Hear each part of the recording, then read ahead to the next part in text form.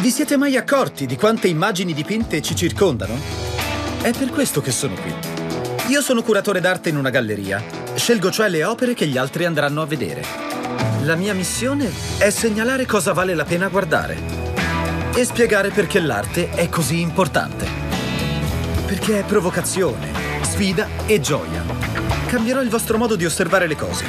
Partite con me per questo viaggio nella creazione artistica. Vedrete il mondo con occhi diversi. Musei e gallerie sono il posto giusto per ammirare quadri e dipinti. Peccato che le opere in mostra non siano in vendita. L'arte è fatta per essere vissuta e ammirata nel tempo. Ma è anche decisamente costosa.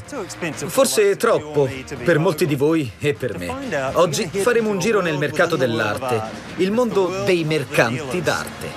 Ma per poterci avvicinare, quanto deve essere gonfio il nostro portafogli?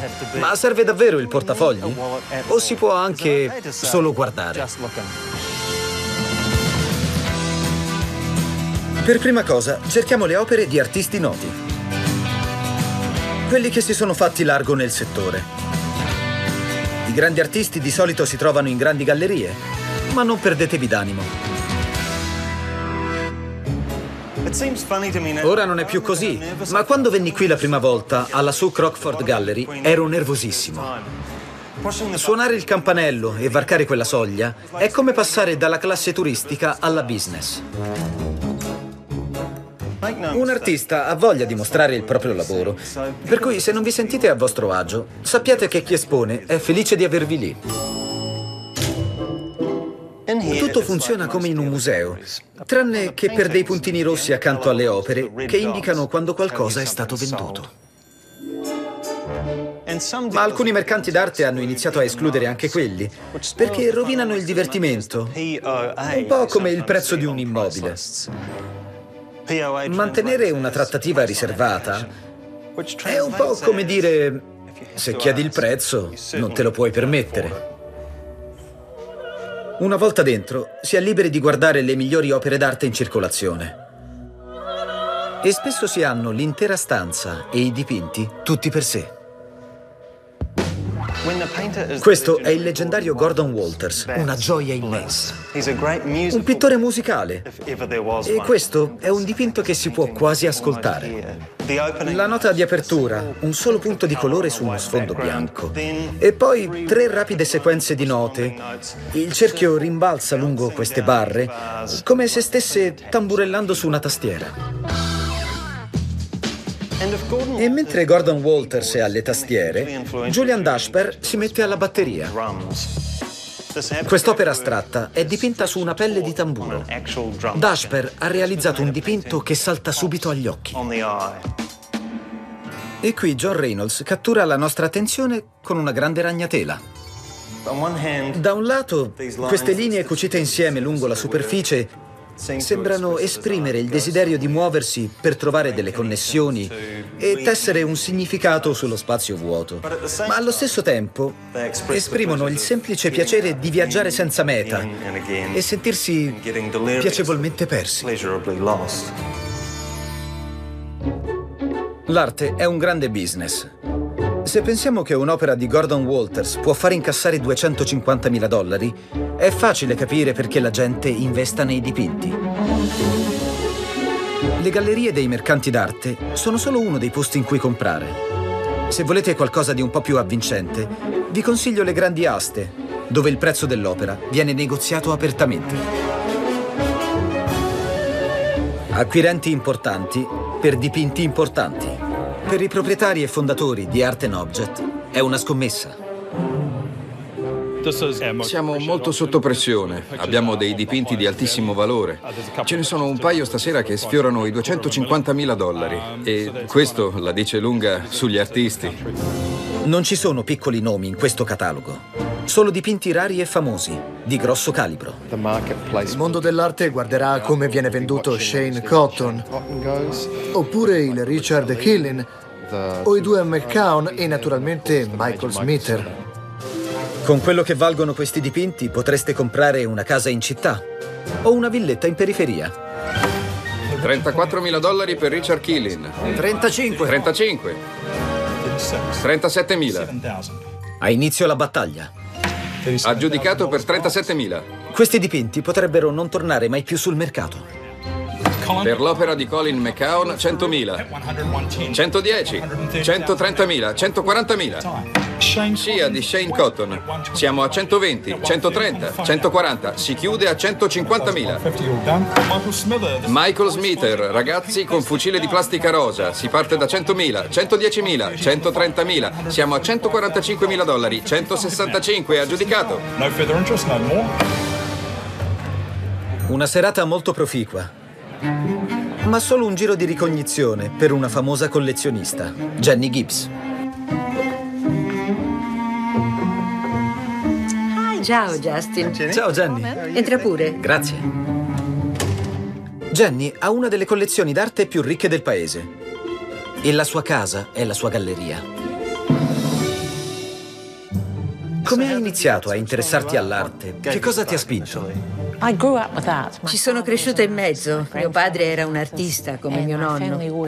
La mia famiglia ha sempre avuto opere d'arte in casa, anche se nessuno si è mai considerato un collezionista, ma piuttosto qualcuno che acquista quadri.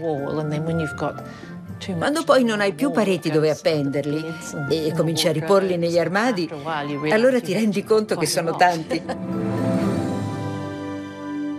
Tu continui ad acquistare? Sì, acquisto un paio di opere l'anno, soprattutto dai più giovani. Ho già tanti artisti della mia generazione qui con me. Ed è quando vedo un giovane promettente e interessante che tendo a innamorarmi di nuovo. Ci sono delle caratteristiche particolari che ti catturano. Da cosa si riconosce il valore? Basta allontanarsi da un'opera. Se ti rimane in mente, allora è quella giusta. quella che non ti fa andare via. Ed è chiaro che un artista, più di tutti, è rimasto nella mente di Jenny. Bill Hammond, con i suoi eleganti uccelli. È stato amore a prima vista. Quel giorno non avevo assolutamente intenzione di comprare nulla. Avevo già alcune sue opere. Poi ho dato uno sguardo a questo e ho pensato, wow, che capolavoro, un uomo di grande talento. Una tela di lino grezza, a mano libera, difficile da realizzare, dove non c'è possibilità di errore. Insomma, guardalo. È pieno di equilibrio. Cosa si può chiedere di più? Cosa si potrebbe fare di più? Penso sia un vero e proprio capolavoro. Ti piace? È incredibile. Se non sai dove appenderlo, potrei prenderlo io. Ma certo. Pensavi alla tua galleria, giusto? Esatto, non a casa mia. Oh, allora sarei felice di affidarlo alle tue cure, Justin. Le gallerie d'arte sono i luoghi ideali per vedere le opere dei migliori artisti. E se da un lato il grande giro di soldi può intimorire, molti appassionati collezionisti sono lì. Sanno bene che l'opera d'arte più emozionante attende ancora di essere catturata. Ma è necessario aguzzare la vista.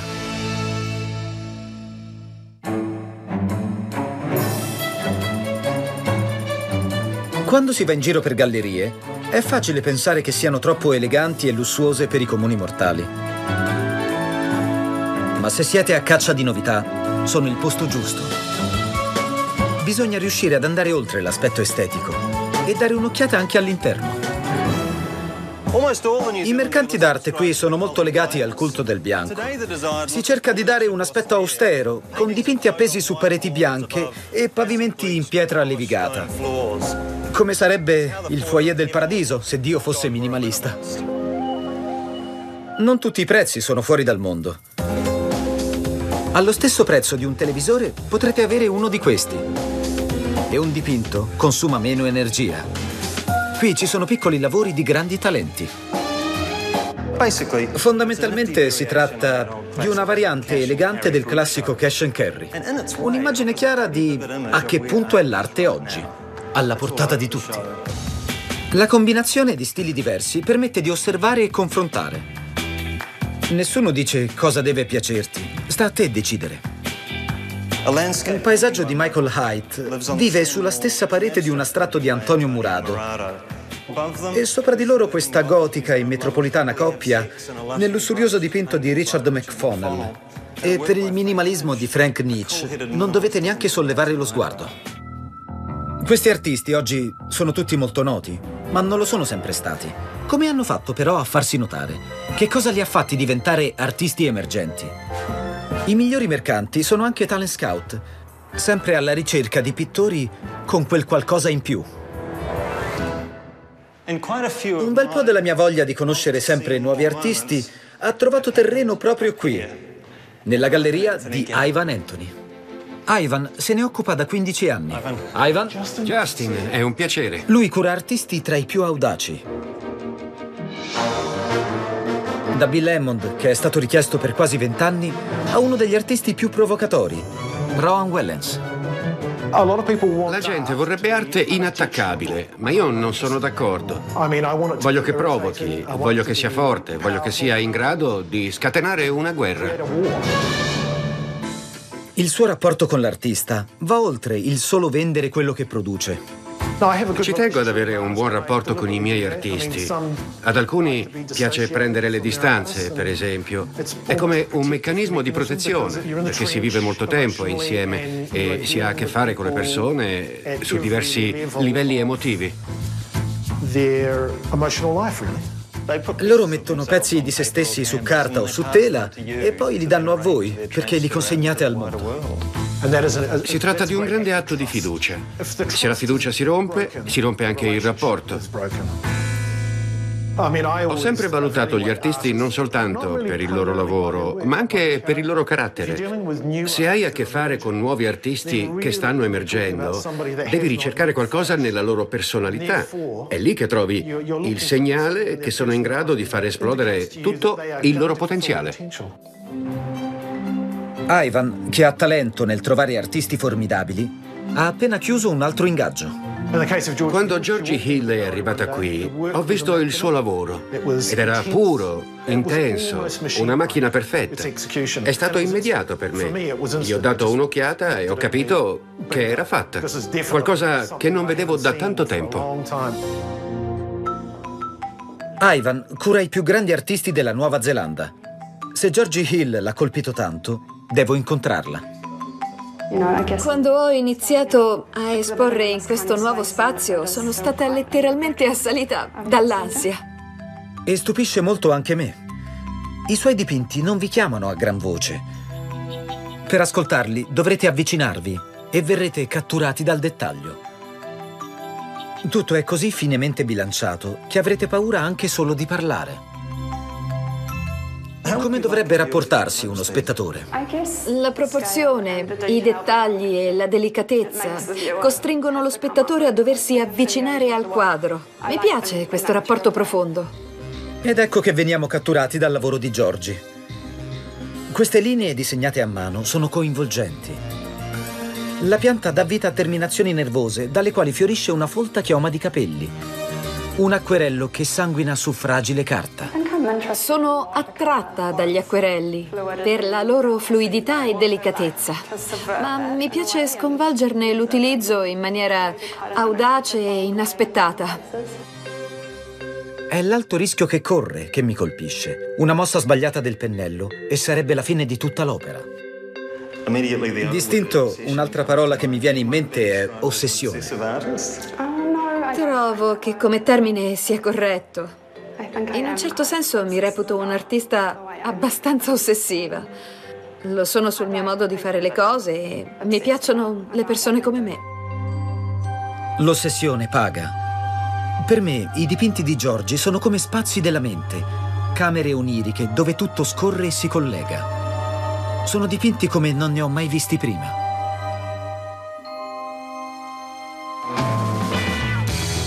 Per vedere i dipinti degli artisti più affermati, bisogna esplorare le grandi gallerie. E se volete acquistare qualcosa, fatelo. Ma di quanti soldi c'è bisogno per avviare una collezione? E dove si possono andare a spendere?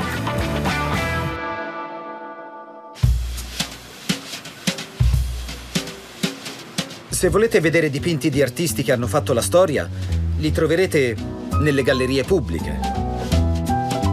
Ma se cercate degli artisti in ascesa, le gallerie e gli atelier sono il posto giusto.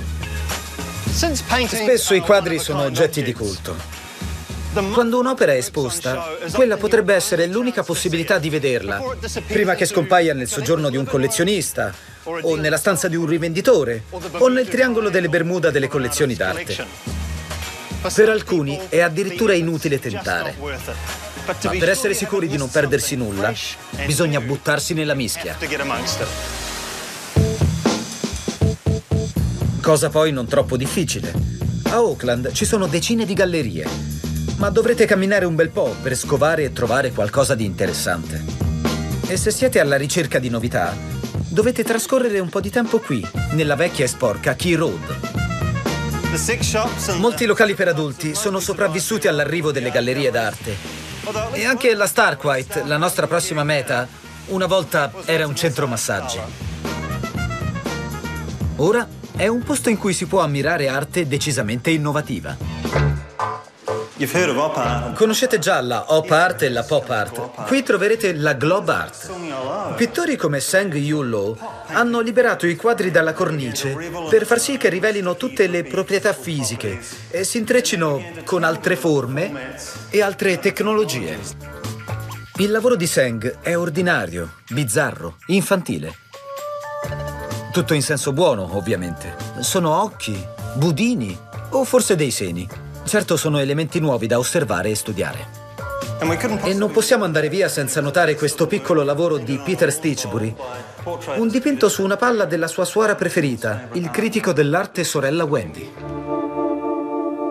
E dietro l'angolo ecco un'altra artista, Christy Wade, che ha realizzato opere decisamente originali. Abbiamo l'idea che per essere seria, l'arte debba essere cupa. Ma la parola che mi viene in mente guardando questi dipinti è gioia. È presente nei colori brillanti e imprevedibili che volteggiano tra il naturale e l'artificiale. L'alluminio dona leggerezza, così i colori brillanti e le forme stesse restano leggeri, come un paesaggio in assenza di gravità. Queste strane e ricercate figure di ispirazione biomorfa sembrano tutte impegnate in una particolare danza. Ecco quella che io definirei un artista emergente molto promettente. Il lavoro di Christie è nuovo sulla scena. Chi comprerà i suoi dipinti? Chi può permettersi oggi di collezionare arte? Lo chiediamo a un appassionato collezionista, nonché artista emergente. Come pittore, Simon Eslin ama prendere oggetti impensati e metterli sulla stessa pagina. Come collezionista, raccoglie tanti oggetti vivaci in uno spazio. Questo sembrerebbe un appartamento qualsiasi, ma guardandosi intorno ci accorgiamo di un gran numero di oggetti molto interessanti. Quante opere possiedi? Se non mi sbaglio, almeno una cinquantina. 50 opere? Non sembri tanto vecchio. Quando hai cominciato ad accumularle? Ho ereditato circa 10.000 dollari da un prozio e ho pensato di investire in qualche opera d'arte. Così ho iniziato con una litografia di Bill Hammond. Molti grandi collezionisti si contendono le opere di Hammond. Un bel colpo per un giovane amatore. Quanto spendi in media? Se sono fortunato, trovo opere di artisti emergenti o studenti appena laureati che vanno dai 500 ai 1000 dollari. Ma alcuni dei dipinti nascosti qui valgono molto di più. Sembra una sorta di paesaggio fantascientifico, vero? Sì, esatto. È di Rowan Wellens, strati di pittura poi squarciati. È stato il tuo primo Wellens? Sì, aveva appena vinto il premio Waikato. Rohan è diventato famoso nel 2003 vincendo il premio d'arte Waikato con un'opera che riproduceva genitali femminili. Questo appartiene a quella serie. Ha avuto diversi problemi. Sì, ha attirato parecchia attenzione, ma io dovevo acquistarlo prima che salisse di prezzo. Non tutti lo appenderebbero in sala da pranzo. Stranamente alla mia ex compagna non piaceva. Non avevo il permesso di tenerlo in casa. Da quando ci siamo lasciati l'ho potuto sistemare qui. Vedere queste opere in casa di Simon non è come vederle in un luogo pubblico. Qui l'arte si mescola alla realtà e agli oggetti quotidiani. Si crea una certa intimità con le opere che non si può avere in un contesto pubblico. L'arte entra in contatto con la tua vita, nel quotidiano, mentre mangi o guardi la tv. Laggiù c'è quel piccolo dipinto di Geneviève Allison che non si può non notare. Si può camminare accanto alle opere e ignorarle, finché all'improvviso arriva il giorno in cui senti di nuovo il brivido che avevi sentito la prima volta. La voglia di collezionare arte va di pari passo con la sua realizzazione. Vincendo 15.000 dollari con il premio Waikato, Simon sapeva come avrebbe speso quel denaro. Per un collezionista come me, dal budget limitato è stato un colpo di fortuna. Sono salito sul podio, ho ringraziato e sono andato a comprare un'opera di Tim Thatcher. Cosa ti piace di questo? È molto accurato. Penso che gli artisti sappiano quando fanno un buon lavoro e Tim sapeva che questa era un'opera importante. E lo sapevo anch'io. Cosa significa possedere opere d'arte? È l'idea di avere qualcosa di unico. È una battaglia entusiasmante tra quello che posso permettermi e quello che non posso permettermi, quando posso permettermelo e quando non posso. Non è come andare a comprare scarpe da tennis o come spendere dei soldi per una macchina. Non è un investimento per me, è solo l'emozione di trovare una nuova opera. Le gallerie d'arte sono piene di arte innovativa. Troverete le opere più originali degli artisti più conosciuti, come i lavori di pittori in ascesa. Basta andare e osservare l'arte con la stessa passione che gli artisti hanno impiegato per realizzarla. Ci sono persone che acquistano arte per investimento, per far bene alle loro finanze, non per il puro piacere. Perciò l'arte non è solo qualcosa di nobile. Arte e mercato infatti non possono essere separati ma cuore e anima sono sempre necessari. Senza di loro l'arte non esiste e quando si scaldano non serve a nient'altro, credetemi.